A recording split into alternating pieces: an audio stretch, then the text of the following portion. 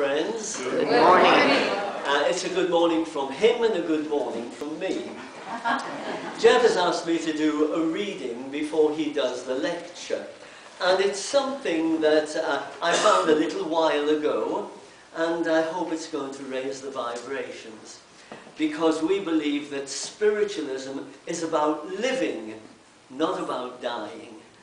And uh, we're living in a technological age, so this really fits well into it, I think. And it's simply entitled, Thank God He Doesn't Have Voicemail. we have all learned to live with voicemail as a necessary art of modern life. But have you wondered, what if God decided to install voicemail? Imagine praying and hearing this. Thank you for calling my father's house. Please select one of the following options. Press 1 for requests. Press 2 for thanksgiving. Press 3 for complaints. And press 4 for all other enquiries. What if God used the familiar excuse, I'm sorry, all of our angels are busy helping other sinners right now. However, your prayer is important to us and will be answered in the order it was received. So please stay online. Can you imagine getting these responses as you call God in prayer? If you would like to speak to Gabriel, press 1. For Michael, press 2. For the directory of other angels, press 3. Or if you would like to hear King David sing a psalm while you are holding, press 4. To find out if a loved one has been assigned to heaven, press 5. enter, enter his or her social security number, then press the pound key. If you get a negative response, try area code 666. For reservations at my father's house, please enter John, followed by chapter 3, verse 16. For answers to nagging questions about dinosaurs, the age of the earth, and where Noah's Ark is, please wait until you arrive here. Our complaints show that you have already prayed once today. Please hang up and try again tomorrow so that others may have a chance to get through. This office is closed from 5 p.m. on Friday, all day Saturday and Sunday. Please pray again on Monday after 9.30 a.m. And if you need emergency assistance when this office is closed, contact your local medium. And now here is Good morning. Good morning. I'm the shy one. I hope you enjoyed that reading because it's a little different and it uplifts you, you know, and that's what spiritualism is all about. Would you like God to have email? No. Neither would I because we all know as spiritualists that we have a direct line to that power that we call God. Whatever you want to call that power. A direct line. We don't have to go to email to reach God. For we know that God resides within each and every one of us. We are part of that great power. We cannot be divorced from that power. For that power lies within everything, within not only our world, but within the entire universe. So we don't need email to get in touch with that power. What we need to do, of course, is sit within the quiet, within the power to go deep within ourselves where the answers to all of our questions lie. And that is so true. And yet in our world today, we have people who don't believe in that power, even though that power resides within them.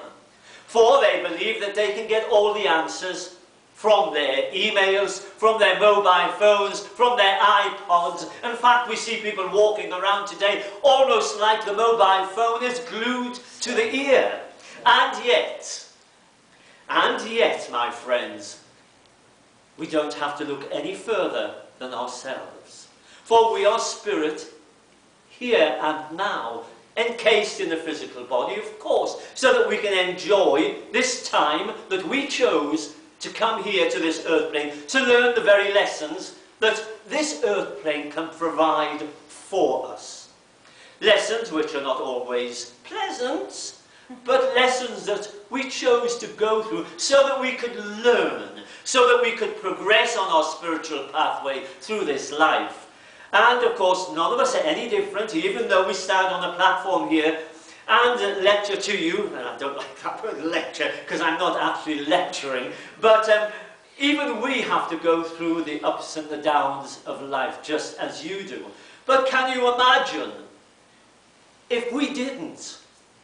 What would we learn coming to this earth plane? One of the lower levels that we can come to so that we can learn from the ups and downs. Can you imagine if life was a bowl of roses or a bowl of cherries, whatever you want to say? We wouldn't learn anything, would we?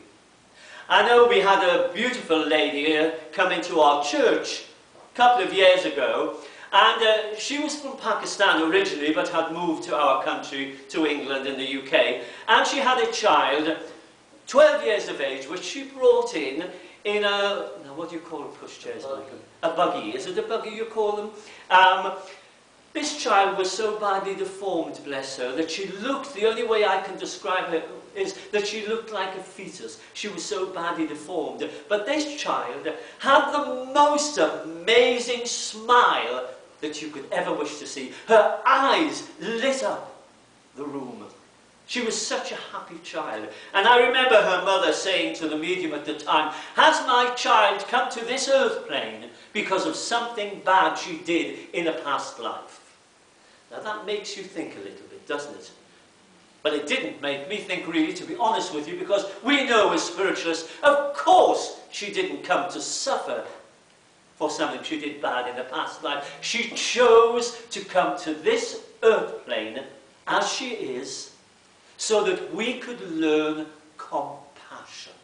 How else, my friends, would we learn compassion if everyone in our world and everything was absolutely perfect? You don't have to go to email or to your mobile phone or your iPod to find out these answers answers which are so beautiful and so natural. And yet, you see, we look at a child like this, and what's happening? We go, oh, bless that child. We feel sorry for them. But you see, that child didn't want pity, my friends. That child lit up the whole church. She was the happiest little being you could ever wish to meet. So she didn't want us to feel sorry for her.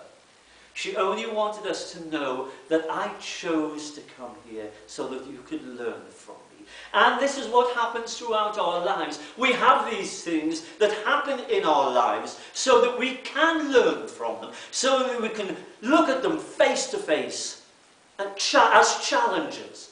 Because I do believe that the things that happen in our lives that are not so good are challenges given to us so that we can learn from them and we can overcome them so we can grow spiritually and take that step forward on our spiritual pathway through this life. It is a great opportunity when you think about it, friends, because you know, some people might say, oh, what a terrible life this is. If I'd known it was going to be like this, I wouldn't have come here. But then how would they learn, my friends? How would they learn? They wouldn't. Because they wouldn't have the opportunity of experiencing things in this earthly life. Things that are beautiful, and we have a beautiful world. Sometimes man doesn't always keep it that way, but never mind, God has provided us with a wonderful world, full of beauty. And yet, my friends, how far do we see that beauty? Sometimes we take it so much for granted that we almost just expect it's going to be there all the time. And yet we have a personal responsibility of not only looking after our world, our earthling, but looking after one another. Now you might think that, oh, I can get on my mobile phone and I can ring my family or my friends and I'm looking after them. But isn't it so much more personal?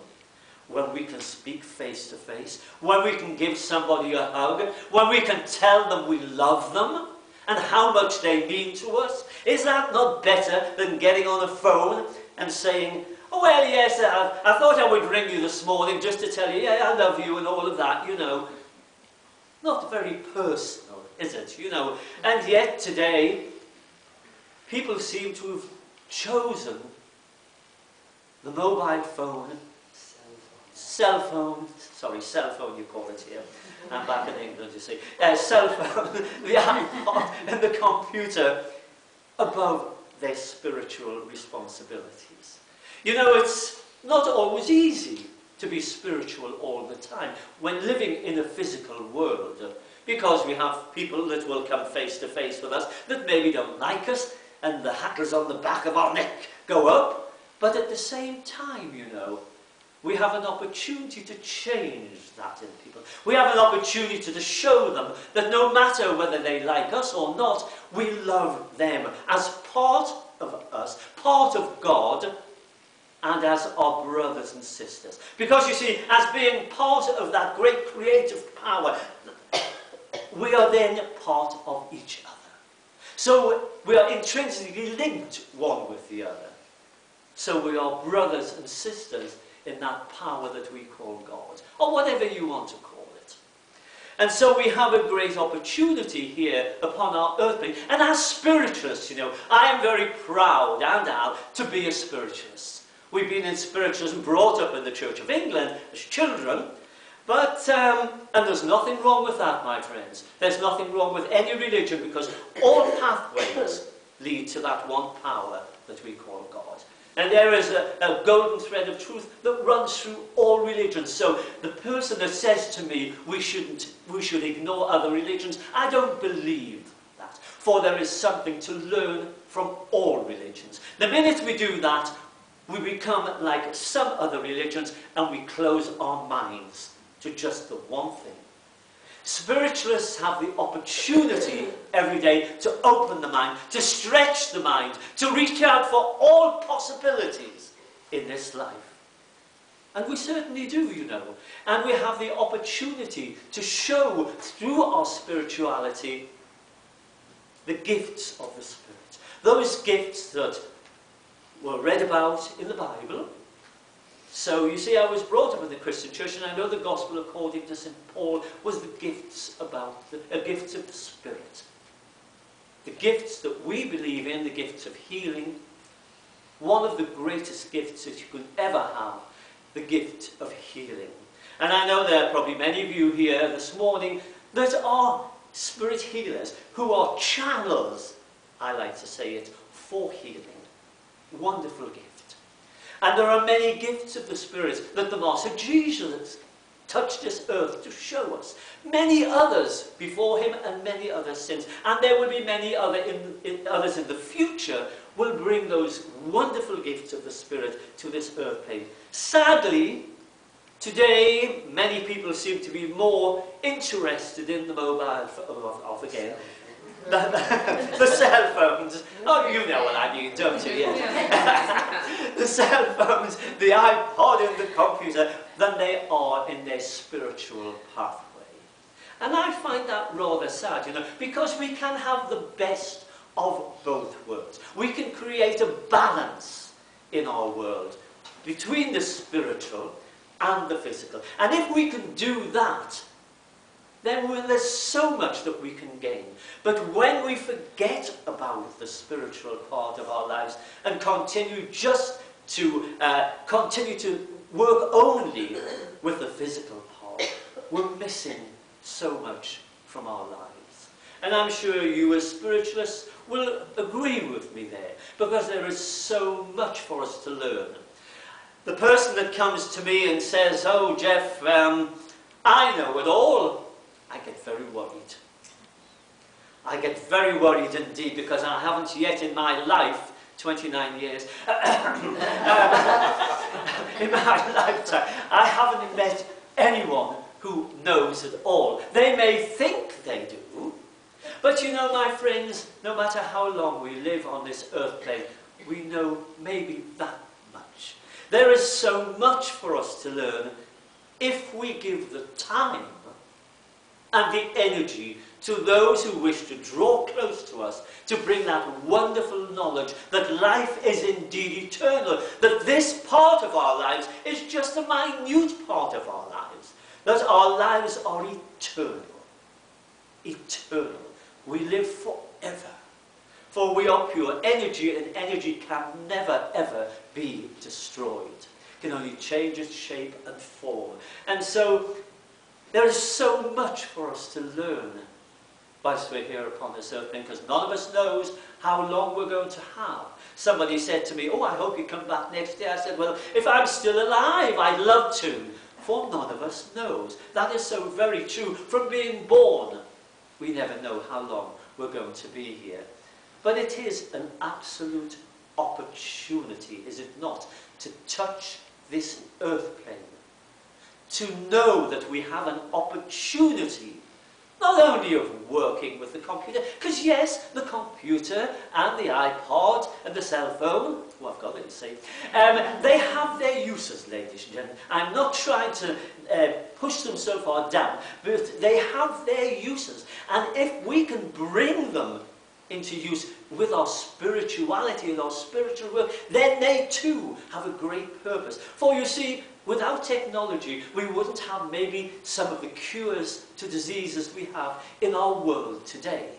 But can you imagine, my friends, along with that technology, can you imagine with spiritual healing working hand in hand with those doctors, nurses, surgeons, those technological machines. Can you imagine what progress we could make in our world? Instead of using technology for guns and bombs and wars that kill people, that kill our brothers and our sisters, and what gives us the right to kill a fellow brother or sister. And yet in our world today, what do we see? Every day we wake up to find that someone has killed another person or many people tragedy this last week or so in your country this uh, last week. How very sad, how very sad that we don't have in parts of our world the respect and the love and the knowledge of knowing that we are all part of God. Not just the chosen few or one or two of us, but all part of that great creative power. So we have no right, my friends, to kill another brother or a sister. We only have the right to show them the love and the respect that they deserve, do we not? And so, my friends, I would say to you, we have a great opportunity in our world today as spiritualists. Not just to come into our churches and our centres and to talk, but to take that wonderful message of the Spirit out into our world, to help our brothers and sisters to have a greater understanding of their true responsibility here upon this earth plane. To enjoy themselves, of course. We wouldn't uh, say that people have, a, have no right to enjoy themselves. Of course they have. But they also have a responsibility not only to themselves, to their brothers and sisters, but to the spirit world and to that great creative power that we call God. And so we could make a difference in our world today. You know, my friends, we speak on the cell phone, and we don't realize that words are creative power, a creative power. They're energy. So whether we speak good words or we speak not so good words, they go out to the ether. They can reach out and touch people. And so when we judge another person, we're judging ourselves. When we give love to another person, we're giving love to ourselves. So what is the best thing to do in our lives? Is it best to go out and love our brothers and sisters? Or is it best to create a feeling of hatred and that I don't care about anybody else but myself. For I think the first one is by far the best. If we can learn to love each other, warts and all, we may look in the mirror in the morning, and I know I do, and I think, up here I'm 19, but then when I look in the mirror when I come out of the shower, I realise I'm not 19 any longer. And I won't tell you my age, 77. No, but, no, but you know, until we learn to love ourselves, my friends, no matter what, how can we possibly learn to love another? It is important that we love ourselves, but it is very important that we share that love, that gift that God has given us so freely to share and touch the lives of other people. So that we in our own way can maybe, hopefully, improve the lives of those people we come in contact with. A wonderful opportunity we have it, and yet in our world today, how many people understand that? How many people look to those maybe who they may call their enemies with love? For you know, if we look out and reach out to them with love, maybe in time we can change their outlook towards one another. Maybe that little thought can change our world. And maybe we can make this world a better world. Maybe we can make this world a world full of love, a world full of positive energy, positive vibrations that will make this world a beautiful world, which it really is, to live in. So let us not just think about our uh, technology. Mobile phones, oh what the heck. Phones and our computers and our iPods and all this technology, yes, use it to the best of our ability. Let it not control our lives, but let us control what is done with that technology to a positive uh, vibration, to use it as positive energy and not as negative energy. And maybe then, and maybe only then, we can change this world. Make the vibrations in our world a positive energy so that everyone can live within that love and within the power of the Spirit. Thank you for listening.